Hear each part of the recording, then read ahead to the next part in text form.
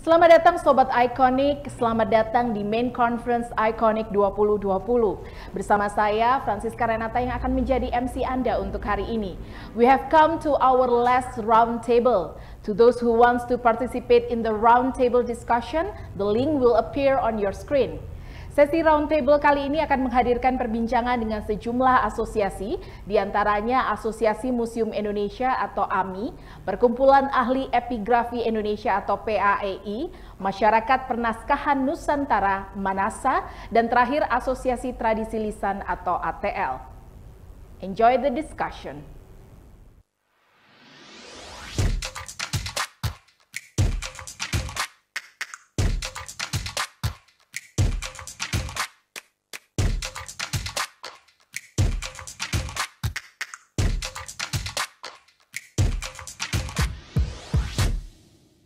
Assalamualaikum warahmatullahi wabarakatuh. Waalaikumsalam warahmatullahi wabarakatuh. Salam sejahtera, Om Swastiastu, Namo Buddhaya, Salam Kebajikan, Rahayu. Perkenalkan pertama-tama nama saya Zakia Garimani, saya dari Direktorat Jenderal Kebudayaan, Direktorat Pembinaan Tenaga dan Lembaga Kebudayaan. Saya bisa dipanggil Egar. Ini lebih uh, singkatnya nama saya silahkan dipanggil Egar. Uh, Bapak Ibu sekalian, uh, kita sekarang sedang berada di uh, acara uh, Iconic untuk kegiatan kita ada beberapa peraturan yang ingin saya sampaikan. Yang pertama untuk seluruh peserta yang hadir diharapkan menggunakan nama asli uh, di akun Zoom-nya. Kemudian yang kedua, nanti kami uh, persilahkan kepada para narasumber atau para presenter kita, yang di sini ada empat narasumber kita, dipersilakan untuk menyampaikan uh, paparannya selama 10 menit. Kemudian yang ketiga, saya harapkan para peserta jika ingin bertanya bisa melakukan uh, raise hand terlebih dahulu atau bisa juga menyampaikan uh, melalui chat uh, di Zoom meeting. Kemudian uh, diharapkan selama kegiatan berlangsung, para peserta melakukan mute uh, soundnya agar uh, ketika narasumber menyampaikan paparan uh, bisa uh, terdengar dengan jelas. Demikian yang bisa saya sampaikan untuk peraturannya. Uh, untuk mempersingkat waktu, saya persilahkan kepada moderator kita pada siang hari ini, yaitu Bapak Jabatin Bangun. Saya Persilahkan Bapak untuk uh, membuka diskusi kita pada siang hari ini. Terima kasih. Terima kasih Bu Egar. Uh, selamat siang saudara-saudaraku seluruh Indonesia, teman-teman, Bapak Ibu semua. Hari ini mudah-mudahan kita bisa mencapai sesuatu pemikiran walaupun dalam kondisi yang waktu yang terbatas gitu ya. Saya ingin mengantarkan beberapa gagasan pemikiran dan nanti memperkenalkan beberapa pembicara memperkenalkan pembicara yang akan membawakan materi pada hari ini.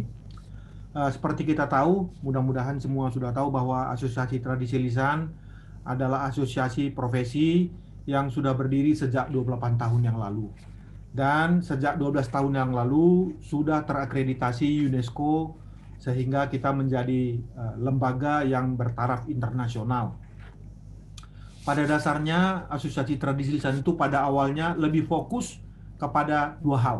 Yang pertama adalah penelitian secara akademik, karena para pendiri dan para uh, anggotanya di awal itu lebih fokus kepada penelitian secara akademik. Lalu berikutnya dikembangkan menjadi sebuah publikasi, baik secara buku seri maupun jurnal yang sudah kita lakukan sejak 28 tahun yang lalu. Bersamaan dengan itu, setiap dua tahun ATL melakukan kegiatan yang disebut dengan seminar dan festival internasional.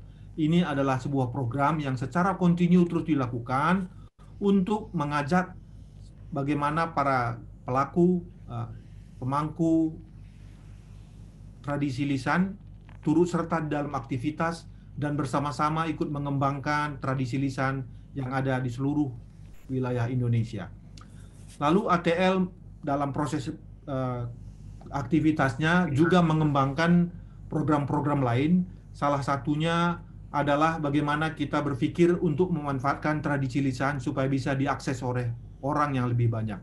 Maka kita membuat program-program yang seperti film ya dan juga dokumentasi-dokumentasi sehingga satu tradisi yang berada di satu tempat terisolasi bisa dilihat dan diakses oleh masyarakat yang lebih luas. Lalu pada akhir-akhir ini kita sangat konsentrasi kepada aspek lain yaitu aspek pemberdayaan masyarakatnya jadi sikap-sikap kita yang selama ini meneliti satu tradisi lisan, lalu pergi dan meninggalkannya, itu mulai kita tinggalkan cara itu. Kita sekarang bersama-sama dengan masyarakat yang kita teliti untuk turut serta mengembangkan bagaimana masyarakat itu bisa terus eksis dan bisa terus berkembang dengan tradisi yang mereka miliki. Saya kira itulah dasar pemikiran seminar kita hari ini, sehingga kita sampai kepada sebuah pertanyaan. Bagaimanakah tradisi sekarang dan bagaimana tradisi di masa yang akan depan, di masa depan. Untuk itu kita ada empat pembicara. Saya perkenalkan pembicara kita hari ini. Yang pertama adalah Ibu Pudencia MPSS sebagai Ketua Asosiasi Tradisi Lisan, dosen di Universitas Indonesia dan pengurus pusat Asosiasi Tradisi Lisan. Yang kedua nanti berbicara adalah Profesor Dr. Hedi Ahimsa, guru besar di Universitas Gajah Mada Ketua Asosiasi Tradisi Lisan DIY Yogyakarta. Yang ketiga nanti berbicara adalah Profesor Robert Sibarani, guru besar di Universitas Sumatera Utara, sekaligus juga sebagai Ketua Asosiasi Tradisi Lisan Sumatera Utara dan Direktur Pasca Sarjana Universitas Sumatera Utara. Dan yang terakhir nanti berbicara adalah Bapak Jajat Sudrajat, eh, pengurus pusat Asosiasi Tradisi Lisan sejak awal Eh, sebagai senior wartawan senior di media Indonesia dan sekarang uh, sedikit berbakti di kampung menjadi anggota DPRD di Banyumas untuk berkontribusi pada kampung halamannya. Untuk itu tidak memperpanjang waktu, kita sudah sampai kepada pembicara pertama. Saya persilakan Ibu Pudencia untuk menyampaikan selama 7 menit karena waktu kita sudah terpakai 15 menit. Saya silakan Ibu. Terima kasih Bang Jabatin, saya senang sekali. Terima kasih pada panitia eh, ikonik, Mbak Egar, Mbak Hana, dan teman-teman sekalian.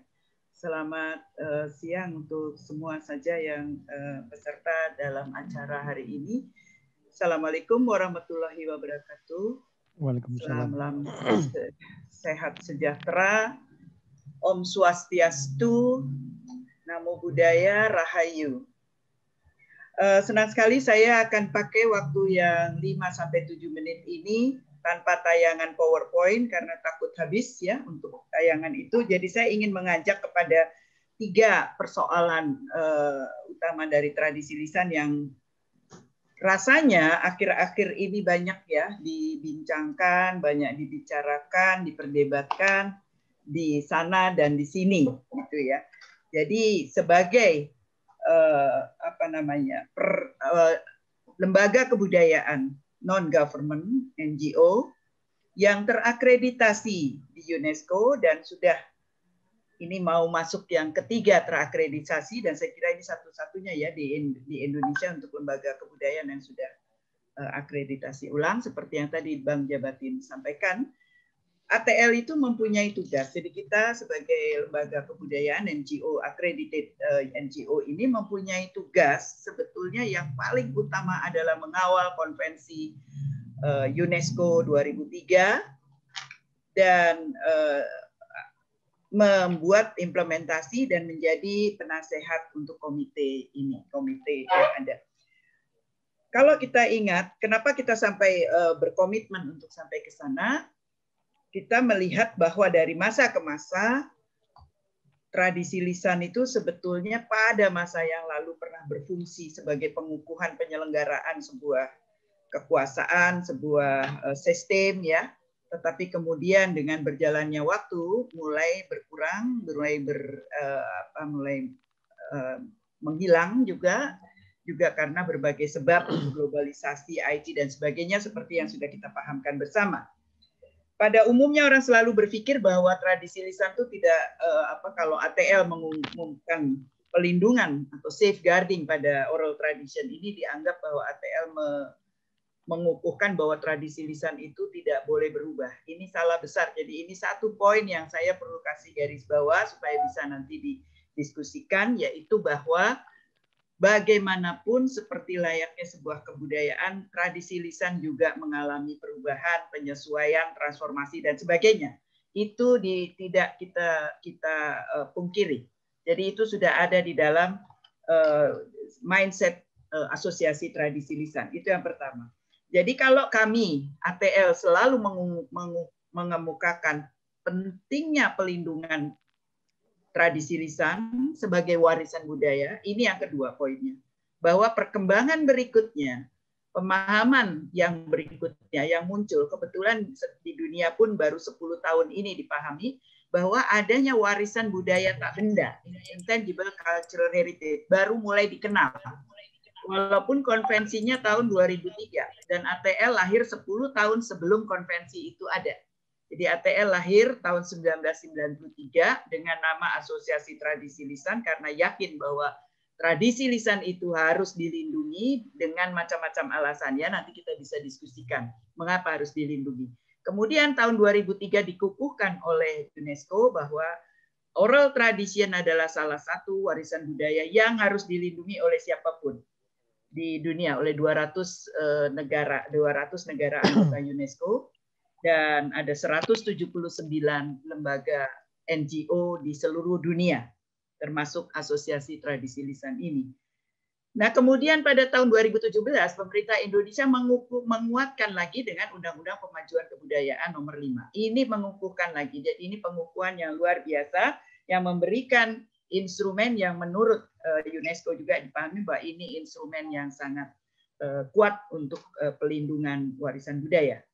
Kemudian ini jadi yang kedua, bahwa tradisi lisan adalah sebuah warisan budaya tak benda, intangible cultural heritage yang memiliki berbagai aspek, tidak hanya dari pandangan antropologi, sosiologis, tapi tadi sudah disinggung mengenai komunitas, pendukung, dan pelaku dan pengelola. Jadi tiga hal ini pelaku, komunitas, dan pengelola. Ini penting. Karena itulah perjalanan ATL yang semula dari tiga jalur pendekatan, yaitu ilmu pengetahuan, yaitu dengan melakukan penelitian, pelatihan, dan sebagainya, lalu publikasi dalam bentuk tertulis dan juga lisan, kemudian pementasan. Karena tanpa pementasan yang berupa festival tidak akan mungkin tradisi lisan itu hidup. Nah, ini kemudian ber, berkembang tadi sudah disampaikan Bang Jabatin yaitu pemberdayaan masyarakat dan pengelolaan warisan budaya benda tradisi lisan ini dalam industri kreatif. Itu poin yang kedua. Poin yang ketiga adalah lakukan kita melakukan revitalisasi. Revitalisasi setelah melakukan semua kegiatan-kegiatan eh, publik apa semua kegiatan lima jalur tadi ya. Jadi melalui penelitian melalui segala macam pengkajian dan sebagainya revitalisasi. Pada saat sekarang kita perlu perhatikan bahwa pada masa pra pandemi revitalisasi yang kita lakukan tentu berbeda dengan masa pandemi ini. Jadi pada masa pandemi ini mau tidak mau kita tunduk kepada situasi yang sekarang ini tetapi kita mencoba mengatasi bahwa tradisi lisan tetap hadir apanya yang akan direvitalisasi pada saat sekarang kita tidak mungkin menghadirkan ritual, kita tidak mungkin menghadirkan eh, pentas-pentas yang lengkap dengan komunitas komunitas yang lengkap dengan apa yang berupa grup. Jadi lebih banyak yang berupa eh, perorangan-perorangan yang tidak memakai instrumen yang terlalu banyak, tidak terlalu kompleks dalam pementasannya, tidak terlalu terikat kepada konteks geografis maupun konteks event gitu ya, event ritual atau event-event waktu. Jadi lebih banyak pada revitalisasi pada memori, pada tindakan-tindakan yang menga, me, apa, menyertai memori itu. Memori tentang apa saja. Ini yang lebih banyak di revitalisasi. Kemudian nanti pada pasca pandemi tentu kita perlu memikirkan lagi seperti apa, tetapi prinsipnya adalah bahwa ATL berkomitmen terus untuk melanjutkan uh, visi misinya dan uh, sebagai UNESCO accredited sebagai lembaga kebudayaan yang terakreditasi di UNESCO dan sebagai mitra dari Direktorat Jenderal Kebudayaan khususnya Kementerian Pendidikan dan Kebudayaan selama ini maka ATL tetap melanjutkan karya-karya dalam dengan lima jalur tadi. Saya kira itu saja. Saya nggak ingin memakan waktu lebih lama. Saya ingin memberi contoh. Kita hanya punya waktu sedikit, tapi saya menyampaikan poin-poin saja Bang Jabatin untuk pemantik dalam diskusi lebih lanjut yang bisa mudah-mudahan di diperdalam di dalam diskusi. Saya nggak ingin mengambil waktu lebih lama. Terima kasih atas perhatian Bapak Ibu hadirin sekalian peserta uh, ikonik pada siang hari. Baik, terima kasih Bu Pendeta. Waktunya pas 7 menit ya. Saya kira uh, saya langsung kepada uh, Prof. Hedi Sri Ahimsa. Saya silakan Pak Hedi untuk memaparkan materinya selama 7 menit juga. Silakan Pak. Baik, terima kasih uh, Pak Mas Jabatin bangun. Bismillahirrahmanirrahim. Assalamualaikum warahmatullahi wabarakatuh. Selamat siang, salam sejahtera. Uh, namo Buddhaya, Rahayu. Uh, baik Ibu dan sekalian, saya juga akan cepat saja dan singkat saja. Uh, menyambung tadi apa yang telah disampaikan oleh Mas Jabatin dan Mbak Teti, Bu Budensia. Berkaitan dengan persoalan pelestarian, uh, saya ingin melihat bahwa kita masih punya tantangan-tantangan atau sejumlah problem yang memang tetap apa harus kita perhatikan jika kita ingin betul-betul bisa menyelesaikan persoalan pelestarian tadi. Ada tiga hal paling tidak yang ingin saya uh, sampaikan. Pertama adalah persoalan pemetaan jenis-jenis tradisi lisan. Ini memang belum selesai. Jadi walaupun kita sudah tadi tidak lagi sangat memperhatikan persoalan ke akademik, tapi saya kira kita tetap ke sana, walaupun tidak lagi menjadi fokus utama, tapi sebetulnya perlu tetap ada itu dan pemberdayaan juga tetap perlu ada dan perlu dilanjutkan karena nanti saya juga berkaitan ini dua dua hal ini sebenarnya saling berkaitan kita tidak mungkin membuat pemberdayaan tanpa kemudian kajian akademik yang serius dan kemudian sistematis gitu. Nah, um, tradisi lisan ini masih sangat banyak. Tadi sudah disampaikan oleh Mas Jabatin pada pada awal dulu kita melakukan kajian akademik ini dan rupanya ini tetap perlu dilakukan karena dari berbagai macam kajian mahasiswa kita yang ada dalam program ATL atau KTL ya kajian tradisi lisan itu kita melihat banyak eh, tradisi-tradisi lisan yang masih berserakan yang tidak selalu diketahui dan tidak selalu terdokumentasi dan masih sangat perlu dipetakan. Sehingga kita memerlukan pemetaan ini. Kita tidak bisa berhenti karena kita belum tuntas rasanya melakukan ini. Ini yang pertama. Nah, kemudian dari sana uh, untung kita masih sudah ada WBTB ya, uh, kegiatan untuk mendokumentasi dan menjadikan ini sebagai warisan budaya tak benda yang diakui gitu. Tapi ini pun harus ada leveling. Ya, apakah mau pada tingkat nasional kemudian pada tingkat provinsi atau mungkin pada tingkat kabupaten. Nah, ini memang apa yang masih menjadi PR kita ya, karena kadang-kadang kita tidak tahu atau kalau yang terkumpul itu apakah cocok untuk level kabupaten, apakah bisa diangkat ke level nasional ataukah hanya tetap di level kabupaten ataukah kemudian diangkat hanya sampai provinsi atau sampai mana. Nah, ini persoalan yang kedua yang muncul dari persoalan pelestarian ini. Perlu ada pemetaan tadi yang tidak hanya berkaitan dengan jenisnya, tapi juga levelnya. Ya, apakah level kabupaten, provinsi atau nasional. Kemudian yang berikutnya tentu saja dengan adanya upaya pelestarian ini kita harus melibatkan peran Pemda. Ya, Pemda ini Pemda ini Pemda Kabupaten ini sebenarnya akan sangat berperan ya, dalam upaya pelestarian ini. Sebab tanpa bantuan mereka sebenarnya akan sulit. Ya, kita melihat bahwa pada level lokal ini eh, banyak sekali sebenarnya dibutuhkan bantuan dari Pemda untuk bisa mengangkat ini. Hanya masalahnya memang kemudian di level Pemda inilah kita masih kekurangan SDM yang betul-betul bisa memperhatikan um, tradisi lisan ini. Kalau kita lihat misalnya dari usulan WBTB, kita semua saya kira tahu, Mas Jabatin, Bu bagaimana hanya provinsi tertentu atau daerah tertentu yang bisa mengangkat itu. Padahal daerah yang lain kaya, tetapi SDM-nya yang kurang. Inilah yang eh, membuat ada ketidakseimbangan antara wilayah satu dengan yang lain berkenaan dengan tradisi lisan yang muncul. Ya. Dan ini yang saya kira menjadi PR kita bersama. Ya, ini berkaitan dengan peran Pemda yang perlu ditingkatkan saya kira dalam hal ini dan Karena itu kaitannya kemudian dengan SDM. Ya.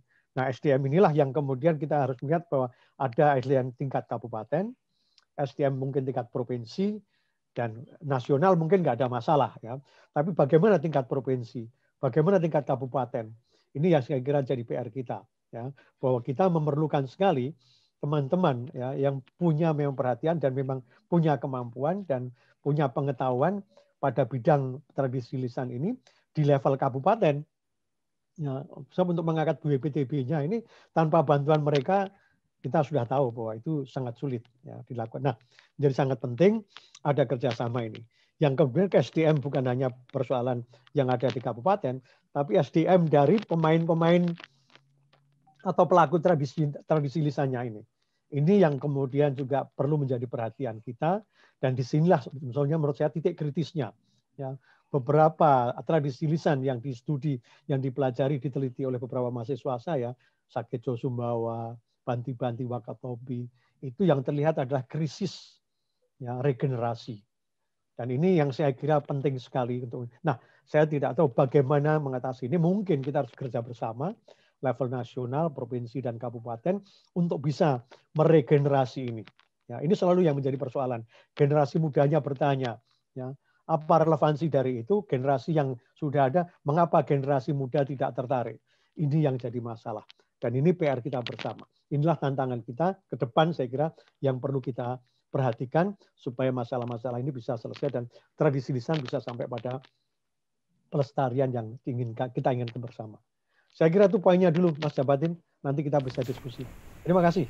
Assalamualaikum. Terima kasih Pak Edi. Kita ini udah kelihatannya ini semua pembicara profesional kelas atas ini waktunya pas cuma kurang dua detik Pak. Jadi mantap. Terima kasih. Berikut uh, saya persilakan berikutnya Pak Robert Sibarani. Silakan Pak. Assalamualaikum warahmatullahi wabarakatuh. Salam, salam sejahtera untuk kita semua. Om Swastiastu, nama budaya, salam kebajikan.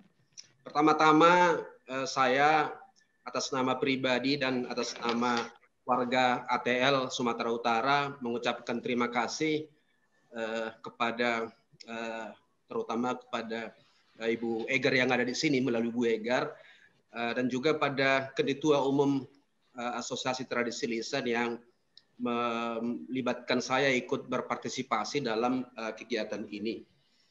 Uh, saya juga tidak menyampaikan tayangan berupa slide, tetapi saya ingin menyampaikan secara ringkas bahwa menyambut atau menindaklanjuti apa yang disampaikan oleh Ibu Ketua Umum Tradisi Lisan, Ibu Pudensia, dan juga para sahabat, uh, ini Sekretaris uh, ATL, Bapak Jabatin Bangun yang bertindak sebagai moderator di sini, dan juga yang disampaikan oleh sahabat saya, Prof. Uh, Hedi, bahwa uh, apa yang dilakukan oleh ATL, ya, kalau saya katakan di sini ATL, tentu saya lebih banyak pada apa yang dilakukan oleh ATL, terutama di Sumatera Utara.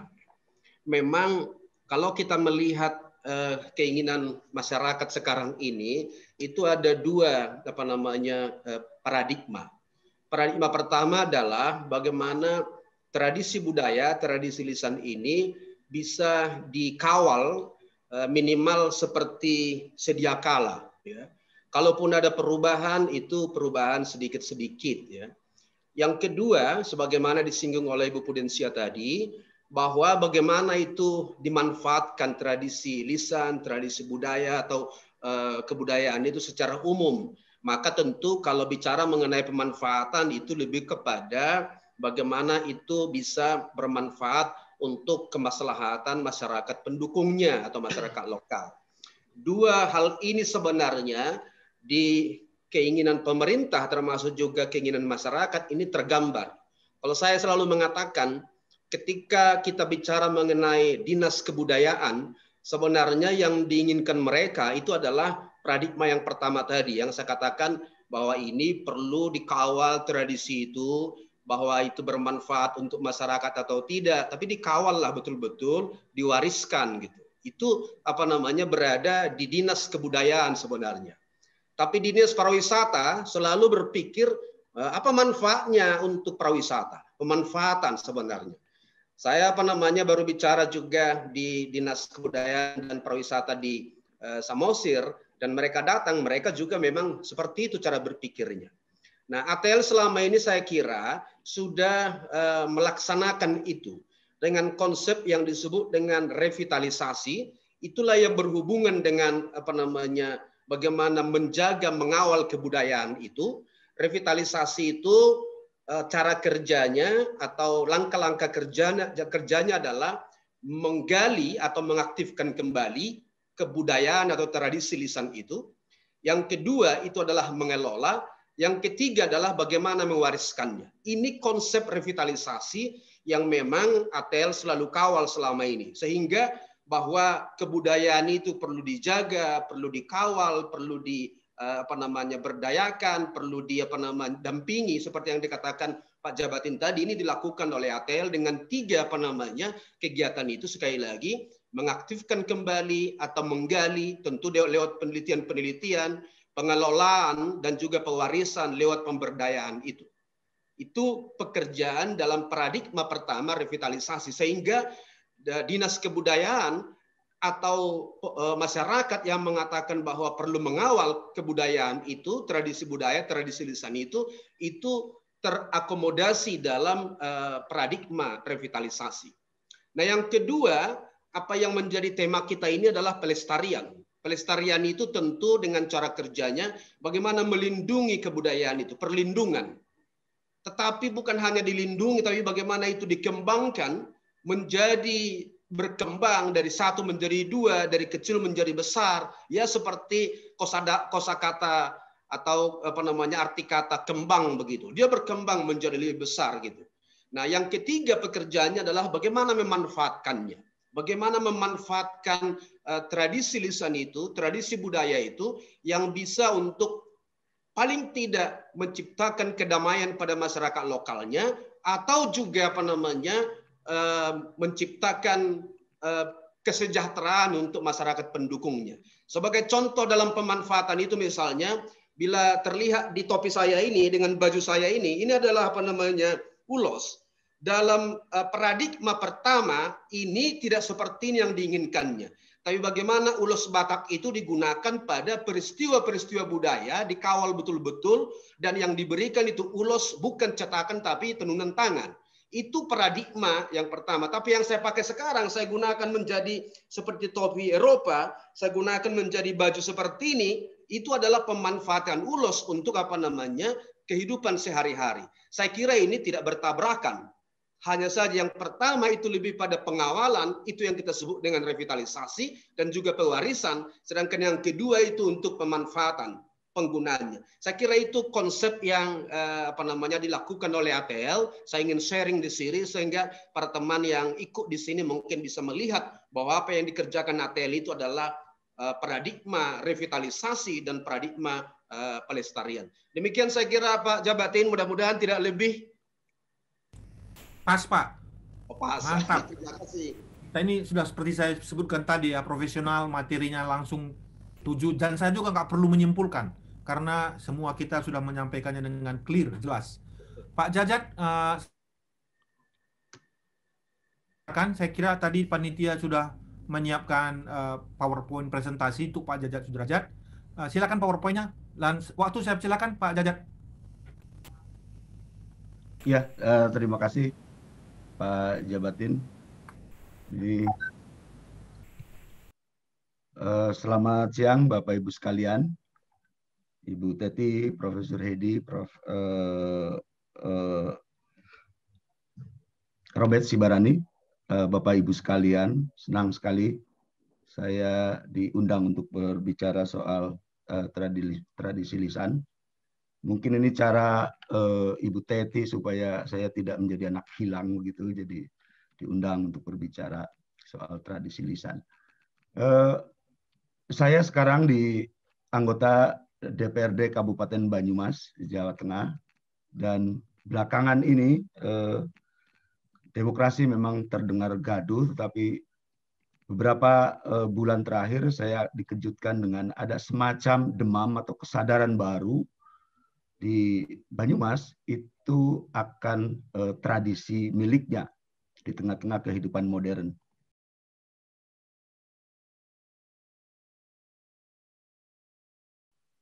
Saya uh, me membuat judul apa uh, tradisi dalam proteksi uh, regulasi. Tadi kalau tidak salah mungkin bisa juga menjawab uh, Pak uh, Profesor Robert dan Ibu Teti. Nah ini foto-foto uh, ini itu adalah trah Bonokeling di Banyumas. Itu ada di dua kabupaten, pengikutnya seribu lebih, begitu ya. Itu foto-foto ketika mau melakukan unggahan menjelang bulan puasa.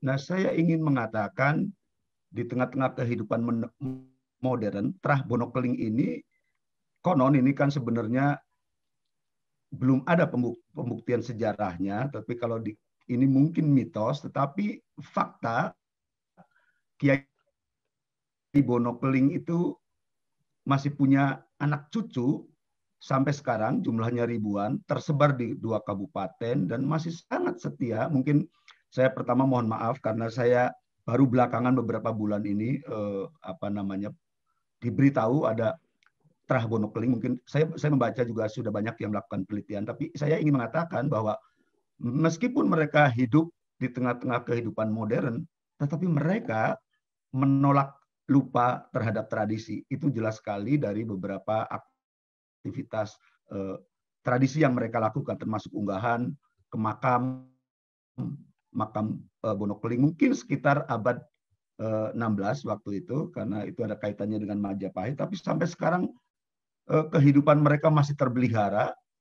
Dan nilai-nilai uh, Kiai Bonokeling itu yang lim, disebut lima itu jadi konon salah satu patih kerajaan Pasir Luhur di Banyumas diyakini punya ilmu kebatinan tinggi untuk keselamatan dunia akhirat bagi keturunannya, tersebar di Desa Pekuncen, Jatilawang, Kabupaten Banyumas, dan Desa Adiraja, Kecamatan Adipala, eh, Kabupaten Cilacap. Memang ini bersebelahan, menganut Islam Kejawen, dan sekarang eh, ada makam Kiai Bonokeling itu yang masuk dalam cagar budaya.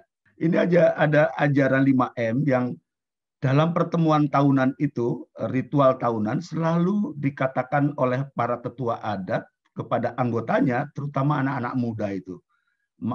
Mau nembah, beribadah menyembah Tuhan, mau guru patuh pada perintah orang tua, mau ngabdi saling menghargai antar sesama, makaryo bekerja karena hidup harus bekerja, kalau tidak bekerja tidak berpenghasilan dan kalau tidak berpenghasilan tidak makan. Jadi memang Eh, itu ditekankan sekali maneges manunggal manunggaling kawula Gusti. Jadi setiap manusia adalah titipan Tuhan. Karena itu hubungannya bersifat langsung tanpa perantara.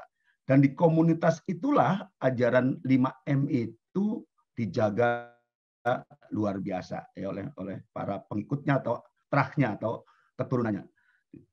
Digelar setiap uh, tahun sekali ya terakhir di bulan Syakban itu tiga hari menyambut Ramadan. Berjalan kaki puluhan kilometer tanpa alas kaki. Itu luar biasa karena keyakinan yang mereka uh, turunkan beratus-ratus tahun. Ada dapur umum di situ kemudian masak bersama. Tetapi yang yang menarik ini yang masak laki-laki tapi yang melakukan ritual pertama kali itu justru perempuan. Makan beralas daun atau apa pun yang ada di situ tapi memang tidak boleh pakai piring jadi umumnya memang daun uh, pisang atau daun uh, apa namanya kelapa yang dibuat lebar itu. Nah ini saya kira kalau kita saya nanti tentu ingin meneliti lebih jauh lagi, tapi poin saya sekarang ini adalah ini salah satu contoh saja mungkin dari sekian banyak uh, kearifan lokal yang kita miliki. Tapi kebetulan saya di Banyumas, jadi saya mengambil ini. Menjaga gotong royong yang menurut saya tidak perlu teriak-teriak tentang Pancasila misalnya, mereka sudah melaksanakan, mengamalkan bahkan menjadi bagian hidupnya karena mereka hidup berkelompok dan secara agraris mereka menggarap eh, apa namanya pertanian di situ, tetapi memang benar-benar menghormati alam dan alam memang dimuliakan sekali karena mereka hidup dari alam itu. punya lumbung paceklik ya. Jadi ini antisipasi kalau suatu saat memang musim paceklik karena di kampung umumnya seperti itu. Ini modal sosial yang luar biasa karena orang meminjam itu adalah modalnya kepercayaan, tidak pakai teken-teken kontrak dan seterusnya seperti dalam kehidupan modern. Mengelola tempat keramat ya, saya kira ini juga bagian dari konservasi yang juga mereka lakukan eh, secara turun temurun dan menjaga keharmonisan antara alam dan manusia. Dan saya kira yang paling eh, serius terlihat adalah mereka sangat serius menjaga bumi. Nah, ini saya kira tadi eh, Ibu Teti sudah mengatakan dampak dari mungkin undang-undang tentang pemajuan kebudayaan undang nomor 5 tahun 2017 juga mungkin undang-undang 24 tentang ekonomi kreatif dan berbagai peraturan lain di daerah itu demam yang luar biasa tentang peraturan-peraturan yang berkaitan dengan kebudayaan, tradisi, adat istiadat, dan uh, masih banyak lagi. Lanjut, ini salah satu contoh saja, tapi uh, faktanya pasti jauh lebih banyak nih. Di Banyuwangi ada perda tentang pelestarian warisan budaya, adat, dan istiadat. Di Bali udah pasti Bali tentang pemajuan penguatan kebudayaan. Saya kira memang tidak jauh dari undang-undang. Pekalongan, ya saya saya ambil secara acak saja. Juga punya ten, perda tentang eh, 14 tentang pemajuan kebudayaan Kota Pekalongan. Bandar Lampung, Jogja sudah pasti Babel. Nah itu eh, sebagai contoh saja. Dan Banyumas sekarang, Bapak Ibu sekalian, eh, sedang membahas raperda tentang pertama kebudayaan, kedua tentang ekonomi kreatif, ketiga tentang desa wisata yang ketiga-tiganya sudah pasti di situ mengagungkan, memuliakan, memberi tempat sangat terhormat terhadap kearifan lokal. Kami e, minggu yang lalu baru saja membahas e, naskah akademiknya dengan Universitas Jenderal Sudirman karena memang aturan membuat perda itu kalau undang-undang memang pertama harus ada naskah akademiknya dan naskah akademik pastilah melibatkan kaum akademik jadi kampus-kampus eh, terlibat ini semua. Dan ketika dalam pembahasan sebelum menjadi eh, raperda, ini kan juga mengundang kesadaran banyak pihak yang tadinya mungkin tidak peduli terhadap kebudayaan, tradisi, kearifan lokal, sekarang mereka terbuka, ya, terbuka pikirannya bahwa memang itu adalah warisan yang sangat berharga yang harus di rawat, tidak hanya dirawat, tetapi dikembangkan. Saya selalu beberapa kali merevisi eh, kata-kata melestarikan, karena budaya itu tidak hanya dilestarikan, tradisi itu hanya dilestarikan. Ibu Tati juga sudah mengatakan, itu memang harus terbuka untuk dikembangkan, disesuaikan dengan kebutuhan masyarakat, kebutuhan masyarakat eh, zaman ini. Samalah seperti wayang, aslinya di India eh, seperti itu, tapi begitu masuk ke Indonesia, seperti dikatakan oleh Rabindranath Tagore ketika ke Indonesia, kagum bukan main. Kenapa wayang di Indonesia sangat berkembang dibandingkan di negaranya? Karena kita punya empu-empu yang yang bisa eh, mengembangkan dan dalam konteks kita sehingga wayang menjadi sesuatu yang sangat berbeda dengan eh, di negaranya. Ya ini yang sedang kami semuanya sangat memberi tempat kepada uh, tradisi, kepada karifan lokal. Saya karena ada sedikit sedikit pengetahuan kadang-kadang memprovokasi memprovokasi juga bahwa kita adalah super power kebudayaan, super power kearifan lokal, tapi selama ini kita pinggirkan. Jadi kalau zaman dulu kita berbicara tentang kebudayaan, tradisi, kearifan lokal dibicarakan oleh kita, para pengamat budaya, para budayawan, para kaum akademis, tetapi hanya kita juga yang mendengarkan. Dan bertahun-tahun juga tidak ada eksekusi. Akhirnya kita frustasi sendiri. Nah sekarang demokrasi kelihatannya memang gaduh, tetapi inilah cara terbaik membuat legislasi, membuat regulasi yang melibatkan partisipasi publik. Karena di dalam pembuatan undang-undang atau perda itu memang melibatkan publik di situ. Termasuk tentu awalnya adalah kaum akademisi. Menurut saya ini sesuatu yang Lagi. lebih kuat untuk melindungi eh, kebudayaan secara umum karena apa? Di situ ada kepastian kalau lewat undang-undang atau regulasi itu. Kita dipaksa untuk melaksanakan itu. Nah, ada pasal-pasal kalau tidak melaksanakan misalnya kena sanksi. Jadi saya kira tidak ada cara lain kalau menunggu kesadaran, menunggu komitmen tidak lewat regulasi menurut hemat saya itu yang selama ini kita lakukan hanya menunggu saja, menunggu kesadaran. Tapi lewat regulasi regulasi itulah orang dipaksa untuk melaksanakan itu dan tentu saja orang pemerintahan yang selama ini sering sekali juga kita eh, apa namanya olok-olok nggak ngerti tentang kebudayaan dan seterusnya. Sekarang dinas-dinas Bapak Ibu sekalian dipaksa harus paham soal itu karena mereka lah nanti yang akan melaksanakan. Jadi saya kira itu eh, ini kesempatan yang baik membangun kesadaran eh, bagi legislatif, politisi yang selama ini kan eh, apa namanya juga diolok-olok nggak tahu apa-apa, nggak peduli dan seterusnya. Tapi fakta sekarang kebudayaan sedang memberi, mendapat tempat yang luar biasa. Apa saya tidak tahu lah motivasinya apa perda-perda itu muncul, tapi apa pun itu jauh lebih bagus karena kalau lewat undang-undang, lewat perda jauh lebih mengikat. Eh, baik eksekutif, legislatif, dan publik secara umum untuk melestarikan dan mengembangkan budaya, tradisi, dan kearifan lokal. Dengan hukum atau regulasi ada kepastian, ya, ada keadilan, karena memang kebudayaan itulah yang eh, memberi sumbangan luar biasa terhadap kita. Kita jualan yang lain-lain, keluarkan ke luar negeri misalnya, tetapi begitu bicara tentang kebudayaan, saya kira orang eh, lebih percaya kepada kita. Tentu saja ada kemanfaatan yang lebih yang tadi saya katakan lebih mengikat. 514 eh, eh, kabupaten kota dengan otonomi daerah yang seperti sekarang masing-masing punya keleluasaan untuk membuat aturan, tapi memang tentu sangat tergantung pada elit di situ. Dan ini menurut saya betul kata Nesbit, demokrasi semakin dunia semakin global, semakin lebar, tapi juga semakin menyempit karena orang juga takut terhadap miliknya yang kemudian akan hilang karena itu diproteksi. Eh, sekarang di Jawa misalnya banyak sekali orang dalam eh, upacara-upacara perkawinan memakai bahasa Jawa uh, Inggil, apa kromo Inggil yang dulu mungkin sempat dilupakan sekarang memulai lagi. Bahkan ada yang memakai sebagian Jawa kuno misalnya.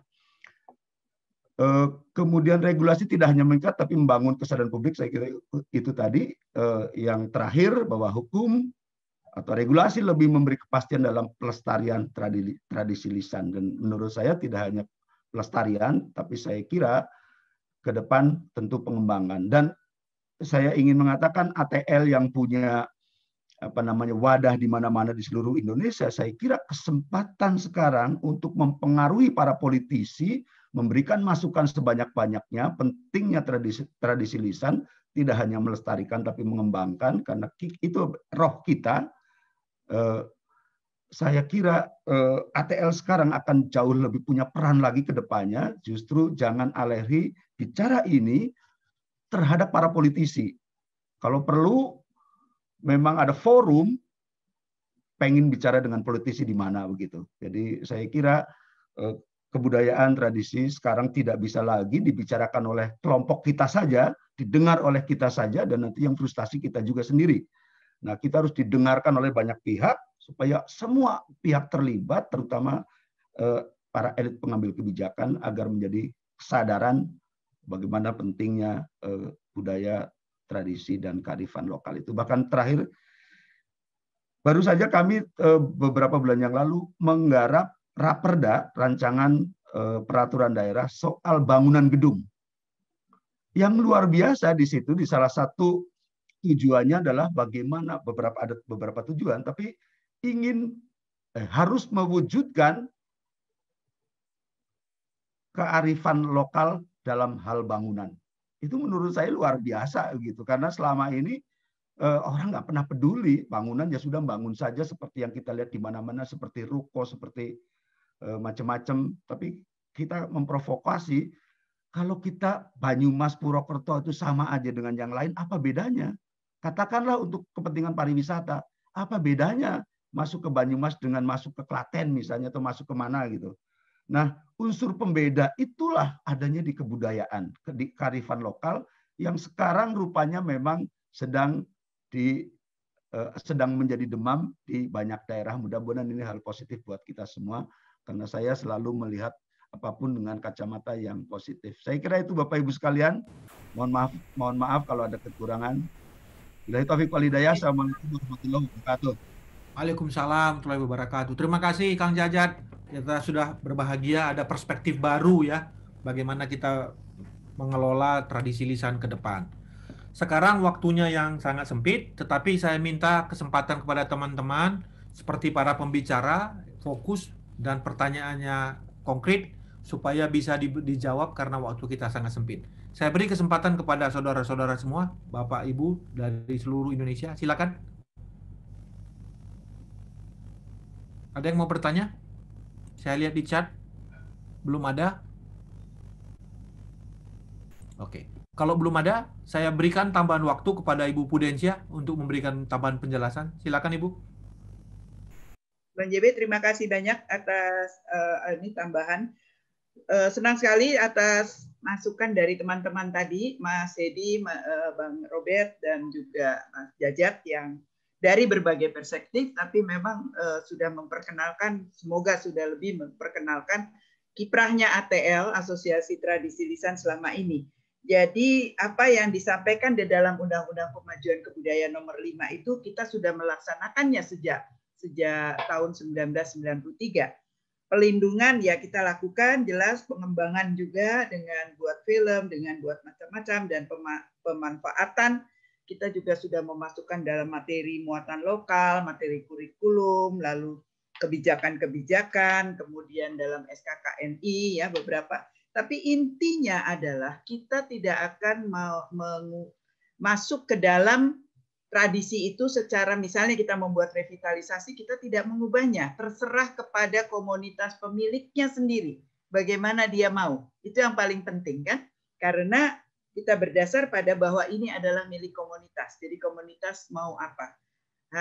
ATL hanya memfasilitasi mendorong mengembangkan dan membuatkan eh, apa eh, jaringan-jaringan dan selama ini tentu saja saya sebagai apa, mewakili Asosiasi Tradisi Lisan juga mengucapkan dalam kesempatan ini mengucapkan terima kasih pada berbagai pihak khususnya kepada Kementerian Pendidikan Kebudayaan, Direktorat Jenderal Kebudayaan dengan uh, berbagai direktoratnya yang telah mendukung kegiatan ATL dan juga kepada beberapa Pemda yang sudah mulai terlibat aktif bersama ATL.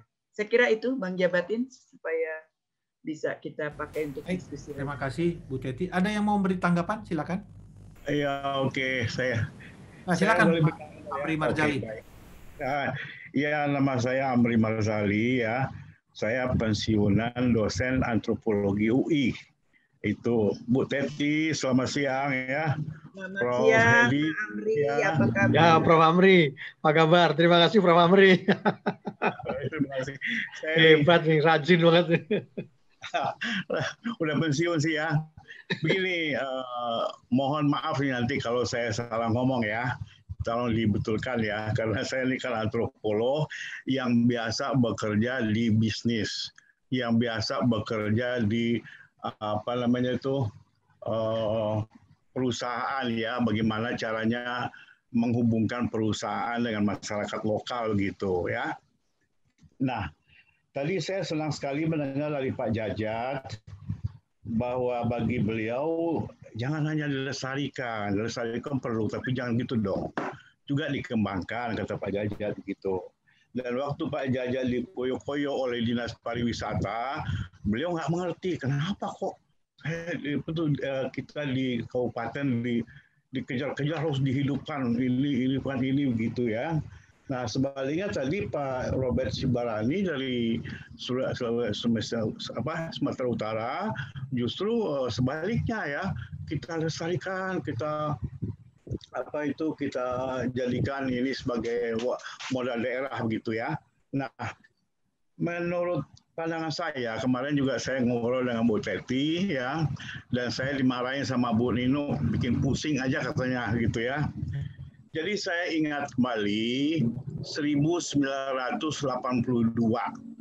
Profesor Makaminan Makagiansar di UNESCO Paris sudah mengingatkan budaya kebudayaan itu sudah waktunya dikembangkan menjadi uh, industri, cultural industry, ya, uh, industri kreatif gitu.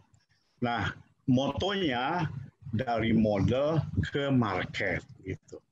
Nah, saya kira kalau Pak Jajat uh, tadi bingung-bingung, nah ini kuncinya Tadinya Pak Jokowi, presiden kita, mau membuka Departemen Industri Kreatif, tapi kemudian dijadikan bagian dari pariwisata, sebuah direktorat atau sebuah deputi di pariwisata. Jadi, nah kalau itu uh, dijadikan banyak, uh, ini tradisi di sana kan banyak sekali dan nggak semuanya bisa dikembangkan menjadi industri kreatif ya. Nah, langkah pertama tentu saja apa yang dikerjakan oleh Bu Teti itu kalau mau uh, industri kreatif yaitu langkah yang Bu Teti tadi itu adalah uh, collecting, documenting, achieving, recording, recycling tradisi lisan. Tidak ada pelestarian, semua itu. Nah, kalau dokumen-dokumennya sudah lengkap, di mana ada apa gitu, nah barulah pemerintah atau deputi industri kreatif tadi memilih mana dari unsur-unsur tradisi lisan itu yang bisa dikembangkan menjadi industri gitu. Nah kemarin dalam kasus uh, topeng dalang Madura itu saya punya uh, apa namanya optimis ini bisa dikembangkan menjadi uh, teater yang terkenal gitu. Tetapi ketika saya tanya kepada Pak Adi itu boleh nggak orang perempuan ikut main teater topeng dalang? Nggak boleh kata beliau. Nah, saya menjadi susut gitu. Nah, jadi tidak punya potensi berarti gitu ya. Nah, saya kira begitulah komentar saya kepada ini ya acara kita ini ya saya mengharap mungkin kawan-kawan di kabupaten ya di departemen bisa memilih tradisi lisan mana yang bisa dikembangkan. Nah, sekarang yang baru dikembangkan baru itu ritual kan. Apa namanya feast and festival itu sudah mulai arak-arakan, sudah mulai berkembang gitu. Nah, kita maunya yang lain juga bisa dikembangkan ya. Juga food and drink di daerah juga sudah berkembang itu. Food drink di daerah-daerah yang khas gitu kan. Herbal-herbal juga art di Kalimantan Tengah itu sudah berkembang sekarang gitu.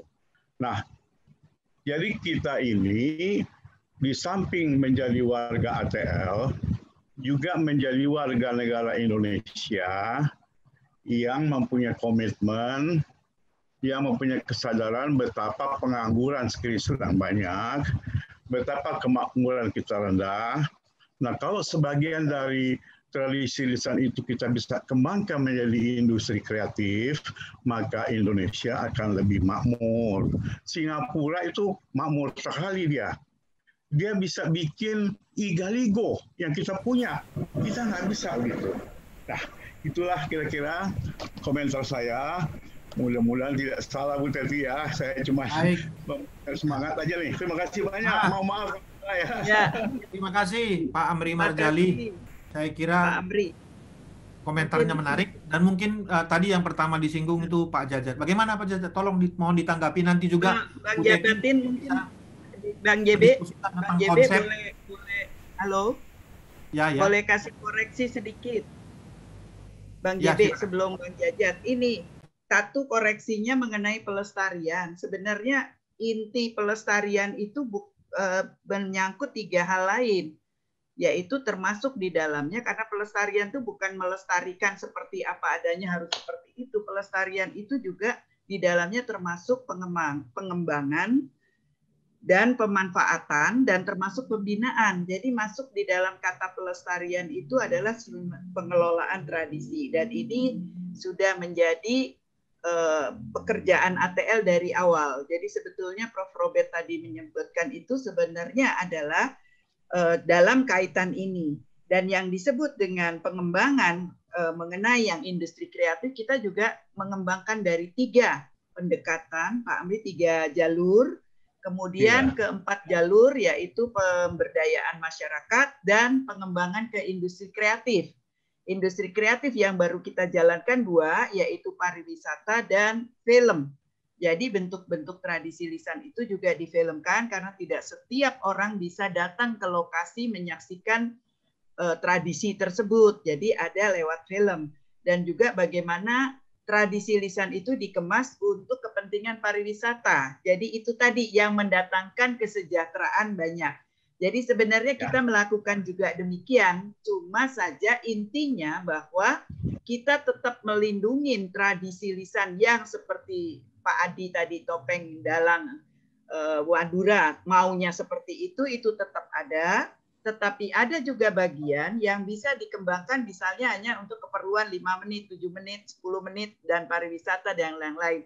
Tetapi yang seperti apa yang dimiliki yang diingini oleh komunitas itu itu menjadi kewajiban ATL juga untuk tetap melindunginya seperti itu sesuai dengan konvensi. Jadi ini dua hal yang perlu ditambahkan. Jadi saya beri contoh misalnya Mak Yong, saya pernah Mak Yongnya tetap ada, tapi itu kemudian udah berkembang menjadi beberapa grup dan sudah masuk dalam anggaran daerah, jadi mereka juga punya. Kemudian maestronya mendapat juga dari kementerian apa semacam gaji tiap bulan dan juga mereka punya pentas-pentas kecil dan besar. Jadi yang kecil yang untuk pariwisata, untuk tayangan-tayangan yang bersifat industri, tetapi juga yang dalam bentuk makyongnya seperti apa adanya yang memang mereka kendaki itu tetap ada. Saya kira itu dulu eh, Bang Jabatin untuk meluruskan dulu kata pelestarian. Nah, baik, saya tambahkan sedikit Bu Teti supaya kita tidak berdebat di situ. Sebenarnya konsep dari itu sudah ada di Undang-Undang Nomor 5 Tahun 2017. Jadi konsep perlindungan apa itu pelestarian kita ambil dari situ yang ada empat unsurnya. Saya kira Pak Jajat, sekalian saya mengingatkan sedikit kepada Pak Hedi karena waktu kita. Pak Hedi di chat ada pertanyaan, nanti pertanyaannya tidak saya tanyakan lagi dibaca langsung dijawab oleh Pak Hedi. Silakan Pak Jajat. Terima kasih Pak Jabatin. Ya Pak Amri senang sekali Profesor Amri eh, bisa bertemu di acara ini. Nah mungkin tadi saya salah mengatakan atau tapi eh, memang kaget ka, kaget ya dengan eh, apa namanya semangat atau katakanlah dalam tanda kutip demam eh, kearifan lokal budaya tradisi begitu di di daerah dengan perda-perda itu. Tapi sungguhnya Eh, kekagetan yang membahagiakan sebenarnya buat buat eh, buat saya terutama itu. Karena belum pernah sebelumnya saya merasakan hal yang seperti itu. Orang bicara tentang kearifan lokal. Bicara apa saja sekarang kearifan lokal itu apakah ada tadi kaitannya dengan uh, global paradoksnya siapa namanya uh, Nesbit misalnya uh, semakin global orang akan semakin lokal karena takut hak uh, miliknya yang paling berharga itu hilang gitu jadi sehingga memunculkan itu. Tetapi juga mungkin juga sering bicara soal bisnis atau pariwisata yang disebut diferensiasi itu. Kita ini faktor pembedanya apa antara kita dengan yang lain gitu. Justru itu hal positif dan tinggal ditangkap, diolah eh, sedemikian rupa supaya eh, apa namanya ini menarik gitu. Karena itu saya ra, ra, memang rada rewel, saya uh, tidak mencermati bunyi undang-undang karena saya lihat yang apa arti yang ada di kamus saja. Kalau pelestarian itu membiarkan apa, apa uh, makanya saya kalau ada kata pelestarian bisa nggak dipaketkan dengan pelestarian dan pengembangan gitu. Karena supaya kontekstual dan ada manfaatnya untuk kehidupan sekarang. Kalau pelestarian-pelestarian saja, ya mungkin ada tradisi yang hanya kebutuhannya dilestarikan supaya nggak hilang. Tapi menurut hemat saya betul tadi lebih banyak lagi yang mestinya bisa dikembangkan, dikontekstualkan dengan kebutuhan hari ini. Saya kira itu Prof. Amri Terima kasih. Mudah-mudahan saya juga tidak salah tangkap ya karena terima kasih belum tidur juga di saya karena ada acara politik yang eh, yang ya. harus digadam gitu. Jadi ya eh, mudah-mudahan juga saya tidak salah ngomongnya. Terima kasih. Enggak Pak, udah dibuka Pak Jokowi tadi acaranya bagus Pak. Ya eh, nambah sedikit saja Pak Jabatin. Kira-kira beginilah soal tradisi ini Pak Sapardi itu, saya juga waktu itu diminta bicara soal Pak Sapardi Joko Damono, uh, guru kita, orang yang luar biasa. Itu dia melakukan apa saja untuk mensosialisasikan puisinya.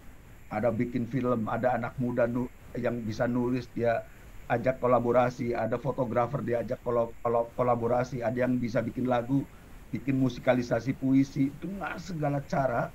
Akhirnya memang sajak-sajak dia dikenal luas luar biasa termasuk oleh anak-anak muda. Yang saya kagum luar biasa biasanya penyair atau sastrawan semakin senior semakin sepuh itu semakin hilang ininya Pak Sapardi justru semakin sepuh itu semakin di puncak popularitasnya karena berbagai upaya yang dilakukan untuk uh, mensosialisasikan uh, membumikan uh, sajak-sajaknya. Saya kira ATL juga saya punya harapan kira-kira atau tradisi ya kira-kira seperti itu cara mensosialisasikannya uh, untuk masyarakat dan tentu manfaatnya apa gitu saya kira. Gitu Pak Jabatin. Baik Pak Jajat, selamat berulang tahun 9 tahun Pak. Ya, terima uh, kasih. Saya kira ya itulah. Berikutnya Pak Hedi, silakan Pak Hedi. Ya baik, terima kasih Bang Jabatin. Uh, ini ada pertanyaan dari Pak Rudolf mengenai strategi dan prakondisi tradisi lisan di aras lokal dan memiliki akses ke nasional global. Begini Pak Rudolf uh, dan ini juga uh, dari Pak Emil baik ya. Bagaimana cara saya dapat dijadikan WPTB pertama silahkan merekam mendokumentasi dan menuliskannya dengan baik. Itu nomor satu Pak ya. Jadi apa yang ada dituliskan dengan rapi sistematis. Syukur kalau bisa direkam dengan video dengan baik. Itu yang pertama. Setelah itu Bapak, Ibu bisa kemudian misalnya punya kemampuan mengunggahnya ya ke mungkin YouTube atau website apa gitu. Eh, sekarang menggunakan itu supaya bisa diakses orang-orang lain. Yang kedua, eh, yang berikutnya bisa kemudian datang ke kantor kabupaten pada dinas kebudayaan ya menyampaikan bahwa ada begini begini begini yang ibu dan bapak punya datanya ya, tunjukkan pada mereka. Ya. Atau kemudian silakan menghubungi ATL di tingkat provinsi di mana ibu dan bapak berada, atau di, ya di tingkat provinsi di mana ibu dan bapak berada. Itu akan direspon. Ya. Nah, dari sana saya kira itu akan bisa dibawa ke tingkat nasional dan kemudian ke tingkat global. Itu juga sebetulnya jalur untuk menuju ke WBTB.